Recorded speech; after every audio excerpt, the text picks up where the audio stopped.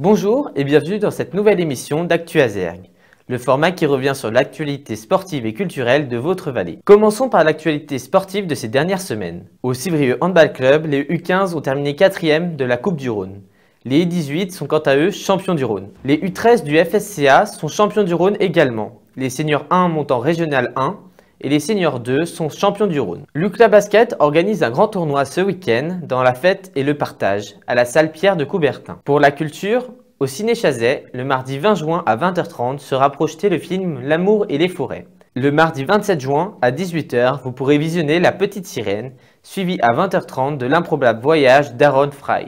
La classe en 9 de Charnay organise un concours de pétanque ce samedi 17 juin au stade de boule du Chevronnet. La classe en 3 de Civrieux remettra ses cocardes ce samedi soir et défilera dans les rues de Civrieux ce dimanche matin.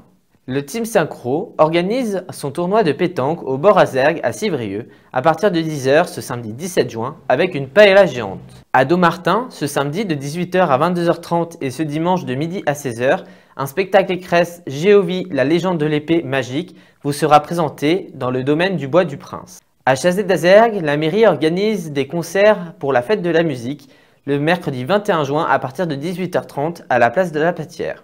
La classe en 4 chazéenne organise un apéritif festif le vendredi 23 juin à partir de 18h30 à la Maison des Associations. À Marcilly d'Azergue, la fête de la musique est organisée par le comité de jumelage le vendredi 23 juin à 19h, place des Marseillais de France.